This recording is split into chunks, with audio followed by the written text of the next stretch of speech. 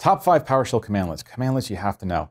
Uh, you know what? The first is invoke command without question.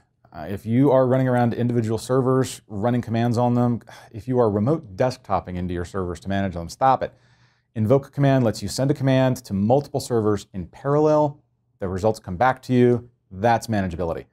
Uh, number two, you know what? Let's grab one from version three of PowerShell. Show command. PowerShell syntax trips people up. It's command line interface. It takes a while to learn. Show command actually pops a command up in a dialog box, lets you fill out the parameters in a nice little GUI, and then produces the command line that you actually are going to run. So it helps you learn the syntax and, and get over the difficulty. I think it's a great investment piece. Uh, you know, the next one's also going to be from version 3, and it's going to be, let me see if I can remember it, new PS session configuration file, which is a mouthful. But for the first time, without having to do .NET programming, you can create an endpoint for remoting. I can apply security to it. So I can say, only Susie from sales is allowed to get to this. And I can have a configuration. The only commands she's going to have when she's in there is this one, this one, and this one. And I can apply a run as credential.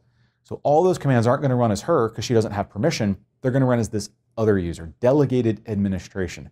Uh, it's something I think a lot of people are going to take a little bit of time to kind of twig to, but oh, it's going to be awesome when they finally do. Get WMI object has to be number four.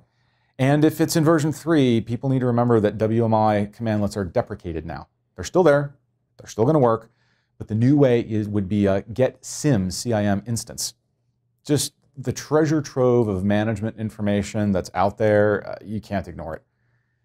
And last, uh, everybody's going to think I'm crazy for this, but it's convert to HTML.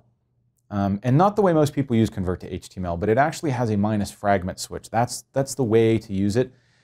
You gather information from five or six places, export each of them to an HTML fragment, and then let the commandlet bundle those into a completed HTML page.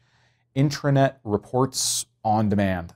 Uh, it seems like a simple little thing, but people actually spend a ton of time writing scripts to do this, and PowerShell will do it for you. Uh, I actually have a whole uh, column I did for TechNetMagazine.com that dives into that, so that's something people can look up and uh, really see how to leverage that.